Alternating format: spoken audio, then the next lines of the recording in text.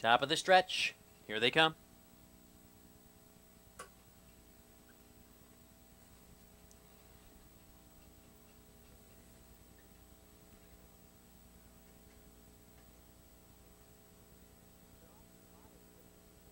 They're often trotting with Speedy Charger quickly to the lead in between horses. Italian Count left well far outside Eastridge Star. They're three deep under the wire for the first time. Eastridge Star now up to challenge Speedy Charger for the lead. Italian Count drops in nicely in third. Four lengths back to Taste Honey in fourth. Hot Dog Rocky is on the move early on, trotting in fifth. Now fourth. Taste Honey is back to fifth. Adorable Amoir racing in sixth, and Mrs. Jade is at the end, opening quarter a quick 28 and 1.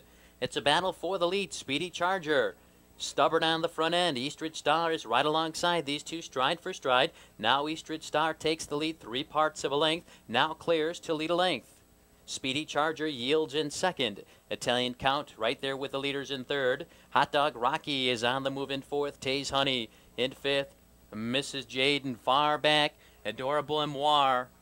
They race by the half, 57 and 4. The fast trot continues. Eastridge Star, your leader a length. Speedy Charger is right there in second. Hot Dog Rocky gains a patient third. Now second. Hot Dog Rocky quickly up to challenge Eastridge Star for the lead. Speedy Charger Racing on the inside third, Taze Honey moves up with cover. Racing in fourth, Italian Count is fifth. A gap to Mrs. Jade. Far back and out of it, Adorable Amoir. They turn for home. Now Hot Dog Rocky opens up a length and a half. Eastridge Star drops back sharply in second. Taze Honey gains third. Italian Count moves up in fourth. Down the stretch they trot. Hot Dog Rocky in control by two. Taze Honey racing in second. Italian Count trots in third. Speedy Charger fourth. Far back. Mrs. Jade inside the eighth pole. It's all Hot Dog Rocky. Hot Dog Rocky about to win his third straight here at Sportsman's Park. Hot Dog Rocky in hand to Bea Farber-Erdman by four.